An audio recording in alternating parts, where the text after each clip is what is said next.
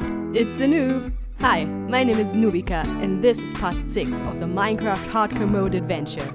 Let's start the time lapse. Woo!